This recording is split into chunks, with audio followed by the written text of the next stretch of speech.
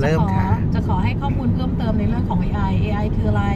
AI ก็คือ artificial intelligence นะคะก็คือในส่วนของระบบ เอาง่ายๆเลย เรารู้จัก Tesla ใช่ไหมคะอือหือ Tesla ก็คือรถไฟฟ้าที่ไม่มีคนขับอ๋อแต่ว่าคอมพิวเตอร์เนี่ยในรถเนี่ยเป็นจะตัวประมคววลบผคุลมใช่ไหมอ่าให้เราให้กับผู้ที่นั่งอยู่อืมนะให้มันสามารถขับไปได้ในต่างประเทศเนี่ยจะมีรถแท็กซี่ ประเภทนี้เยอะมากเลยค่ะ ก็คือว่าเราสามารถนั่งอยู่ แล้วตัวคอมพิวเตอร์ในรถเนี่ยจะประมวลผลเส้นทางให้ เพียงแต่บอกว่าเราจะไปที่ไหนนะคะ แล้วก็ตอนเนี้ยที่มาแรงๆก็คือ Chat GPT เราเมื่อก่อนเนี้ยถ้าอาจารย์ดรยโสธราอยากจะสืบค้นข้อมูลจะไป Google ใช่ไหมคะอืมอืมอาจารย์จะไปใส่ keyword อะไรก็แต่ให้มันค้นให้ แต่ตอนนี้ก็คือว่าตัว Chat GPT เนี่ยก็คือเหมือนกับเราจะแชทเพื่อถามใครสักคนหนึ่ง นะคะ แต่ว่าเขาไม่ได้ให้สถานที่แต่เขาจะพูดคุยกับเราอย่างเช่น อาจารย์สนใจว่าเนี่ยฉันอยากจะทำบทความที่เกี่ยวกับวัฒนธรรมที่แบบใหม่ ๆ เลยอืม Chat GPT ช่วยตอบหน่อยได้ไหม เขาก็จะวิ่งเข้าไปที่ฐานข้อมูลมาให้เลยค่ะ แล้วก็ประมวลประมวลผลว่า อ๋อ ถ้าเป็นแบบว่าทำในส่วนใหม่ๆ ควรจะนำเสนอเรื่องอะไร เหมือนตอนเนี้ยที่ Chat GPT เขาเอา Chat GPT มา ให้แต่งนิทานให้ อืมอ่า ให้วาดภาพให้ อย่างเช่น เราบอกเราบอก AI ว่าอ้าวฉันต้องการรูปปลานะ ที่มันอยู่ในน้ำปลาอยู่ในน้ำแล้วเนี่ยมีสีทอง AI จะเป็นตัววาดให้เลย ฉะนั้นนะคะ ถ้าหากว่าเราเข้ามา ในส่วนของแอปพลิเคชัน พวกเนี้ยมันก็จะเจเนเรตภาพให้นะคะ ตามคำที่เราบอก แล้วถ้าเป็นแบบนี้อาจารย์เอ่อ สมมติว่ายุคต่อไปของมนุษย์เนี่ยอ่าคนจะเขียนงาน คนจะทำรายงานอะไร คนก็ไม่ต้องคิดสิคะ ให้ AI มันเขียนให้เลยโดยโดยโดยที่เราป้อนคำสั่งให้มัน ว่าฉันอยากได้แบบนี้แบบนี้แบบนี้ แบบนี้มันจะเป็นการพัฒนามนุษย์ไหมคะ มันล้ำเกินไปไหม แล้วก็ขีดความจำกัดของศักยภาพของมนุษย์เนี่ยจริงอยู่สร้างมันขึ้นมา แต่ทีนี้ผู้ที่เสพหรือผู้ที่เอามาใช้เนี่ย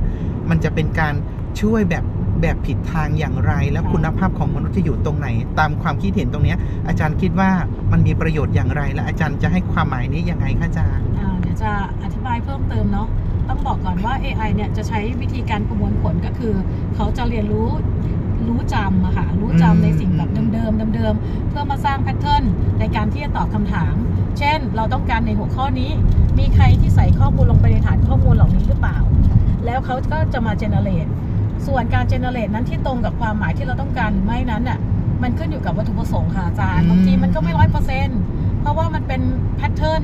นะคะมันเป็น pattern ที่มันผ่านฐานข้อมูล ถ้าหากว่า ChatGPT มีฐานข้อมูลที่น้อย การนำเสนอตัว pattern หรือคำตอบ มันก็อาจจะไม่ตรงใจอืมฉะนั้นตอนนี้มีหลายค่ายเลยที่เขากำลังพัฒนา AI ตัวนี้อยู่ อย่างเช่น Google นะคะ Google ก็มีออกมาแล้วนะคะ Bing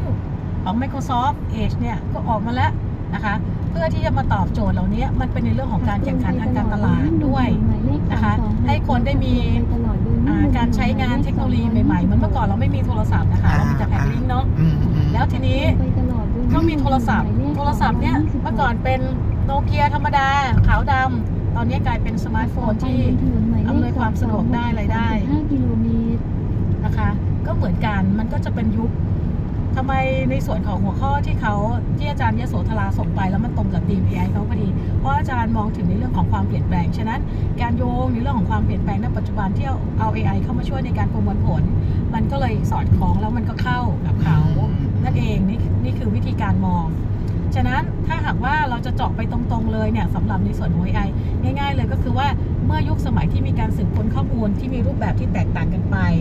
นะคะ ตัวนี้เป็นตัวที่ช่วยให้คนอะสามารถทำงานได้ง่ายขึ้นเหมือนที่บอกแหละอืมนะคะแต่จริงๆ ก็ไม่พ้นกับสมองมนุษย์ถูกที่จะต้องคิดเหมือนเดิมถูกต้องดังนั้นก็แปลว่าถ้าใครสนใจ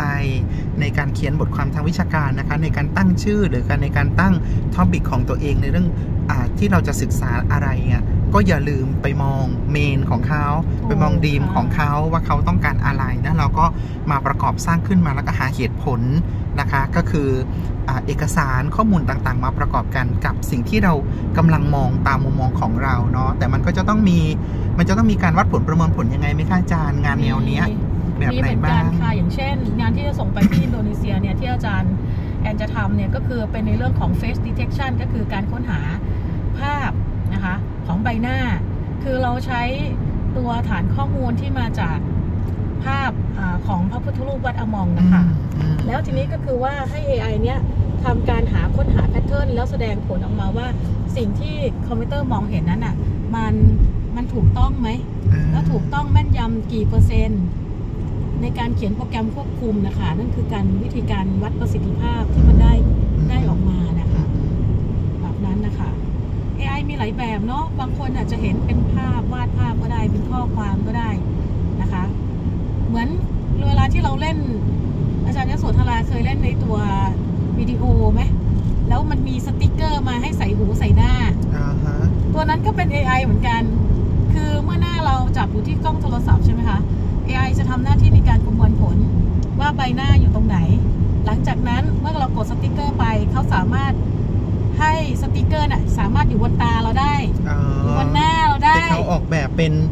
อ่าจมูกเป็นกระต่ายหูอ่าเป็นกระต่ายนั่นโน่นแหละ นี่นั่นอะไร นั่นแหละนั่นแหละแล้วก็ค่ะ เพิ่มเลนส์ตรงเลนส์ตา บางคนใช่ไม่มีจมูกก็ทำให้มีจมูก ขึ้นมาใช่มีโอ้ยทุกวันเนี้ยขนตถ้าใครอยากจะได้ภรรยาหรือสามีนะคะ ขอดูตัวจริงนะคะ อย่าผ่าน AI นะ บอกว่า ขอโชว์หน้าแบบ face แบบ ori origin origin ของเธอได้ไหม โชว์ให้ฉันเห็นแบบ pure ๆเลย คือไม่ต้องผ่านอะไรแบบโทรศัพท์แบบไม่ต้องผ่านอะไรได้ไหมอะไรประมาณเหมือนนี้แอปพลิเคชันที่ดรยโสธราแต่งๆนะคะสวยๆค่ะ แบบนั้นค่ะ AI ทั้งหมดค่ะ ใช่ค่ะ ต้องมาดูตัวจริงนะคะ แล้วคุณจะหนี หนีไม่ทันนะคะ อาจจะยิงดิฉันทิ้งเลยก็ได้นะคะใครจะไปรู้ มันดีตรงที่ว่ามันมันไม่ต้องสัญญกรรมเนาะแต่ว่ามันสวยได้เลยเนาะ อ่ใช่